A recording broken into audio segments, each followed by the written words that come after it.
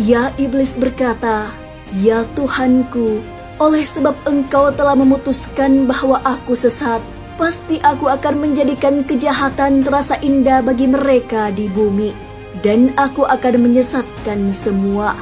Quran Surah Al-Hijr ayat 39 Setan menggoda manusia berdasarkan kadar kekuatannya.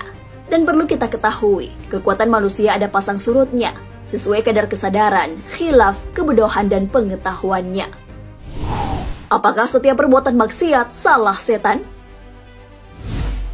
Selama hidup di dunia, anak cucu Adam tidak akan terlepas dari godaan setan untuk berbuat dosa. Bahkan tak jarang, manusia berbuat dosa hingga berkali-kali. Sesungguhnya, begitu setan telah berhasil menggoda manusia, maka ia pun akan segera pergi. Dan ia tidak mau dipersalahkan atas upaya menggoda dan membujuk manusia agar tersesat. Hal ini sebagaimana yang dijelaskan di dalam Al-Quran.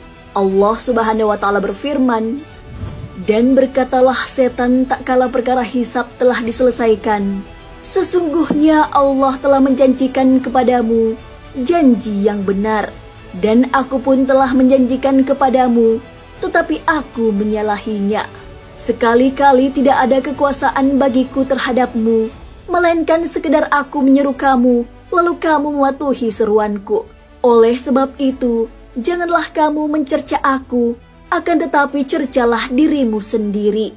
Aku sekali-kali tidak dapat menolongmu, dan kamu pun sekali-kali tidak dapat menolongku.